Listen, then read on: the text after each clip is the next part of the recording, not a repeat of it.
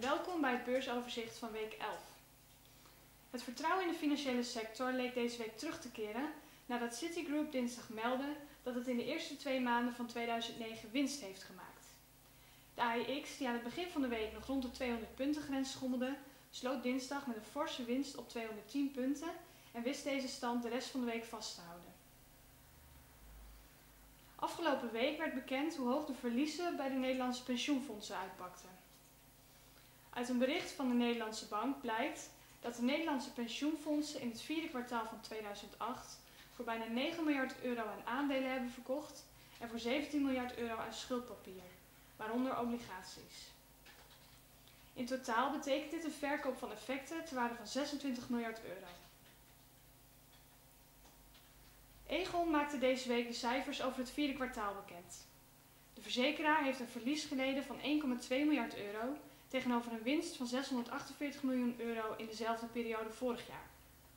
Het verliescijfer is inclusief een eenmalige belastinglast van 300 miljoen euro. Egon leed 8,7% verlies op beleggingen. Fortis zal op 8 en 9 april algemene vergaderingen van aandeelhouders organiseren in Utrecht en Brussel. Hierdoor krijgen zowel Belgische als Nederlandse aandeelhouders de kans zich uit te spreken over het nieuwe akkoord dat Fortis Holding, BNP Paribas en de Belgische staat op 6 maart hebben bereikt. Grootaandeelhouder Ping An vindt de nieuwe deal een verbetering. Maurice Lippens, oud-voorzitter van Fortis, noemde de nationalisatie van Fortis Nederland en ABN AMRO door de Nederlandse staat misdadig. Verder zei hij dat de overname van ABN AMRO door Fortis geen fout was. De fouten die misschien gemaakt zijn, wijt hij aan de moeilijke houding van de Nederlandse bank. ING verwacht dat haar hypotheekomzet in 2009 met 35% zal afnemen. In het laatste kwartaal van 2008 nam de omzet uit hypotheek al af met 45%. Vanwege de daling zal 10% van het personeelsbestand bij de afdeling hypotheken worden geschrapt. Verder heeft de bank deze week voor de tweede maal een vijfjarige obligatie geplaatst ter waarde van 2 miljard dollar. Het is opnieuw een lening met staatsgarantie. Ook DSM plant de uitgifte van een nieuwe vijfjarige obligatie met een waarde van 500 miljoen euro. Komen we bij de Nederlandse macro-economie. De Nederlandse export en import zijn in januari bij de 14% gedaald. Dit is de sterkste daling sinds het begin van de jaren 90. Volgens cijfers van de Vereniging van Ontwikkelaars en Bouwondernemers, de NVB, zijn in januari en februari respectievelijk 60 en 70 procent minder nieuwe woningen verkocht dan in dezelfde periode in 2008. Dit betekent dat de daling van woningverkopen versnelt.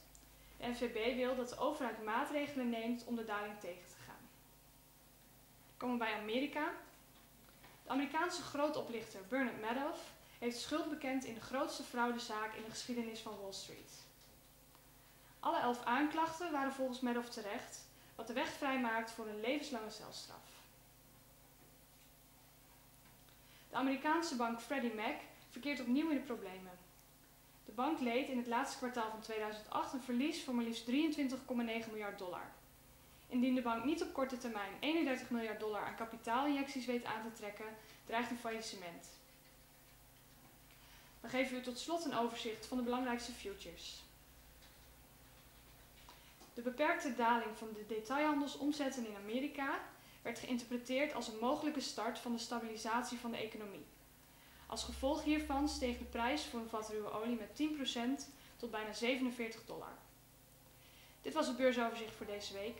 Prettig weekend en graag tot volgende week.